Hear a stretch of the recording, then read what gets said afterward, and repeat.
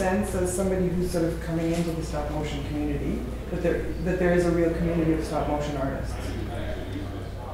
I feel that there is a community, but I don't know anything about it because I'm not. Yeah, that's another problem about me. It's I'm, I'm, I'm a loner. Uh, I did a lot of things by myself, especially because uh, I had a lot of experiment uh, experience. Sorry, that gave me this opportunity.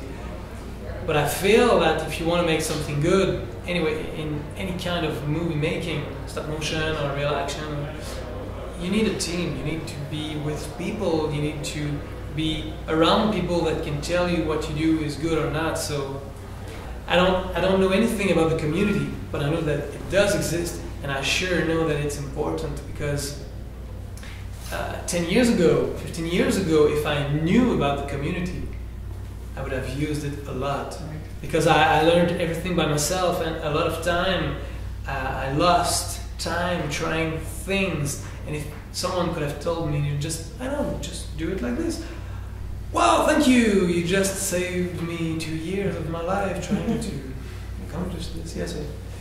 What I know now from what I did is that it's possible for anyone to, to, to have success on the web and to be able to make a living out of it. So if you want to make stop motion, and I know that stop motion is something that it's hard to live from, uh, maybe it's a good thing to think about trying to make money on the web, on trying to to use the technique to make commercial stuff, to make money, to then make the artistic stuff. So stop motion is not going to die, even if 3D is getting better and better and better, because this is two different things.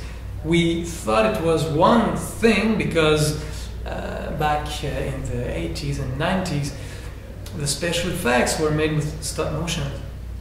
But I think that stop motion is not about special effect.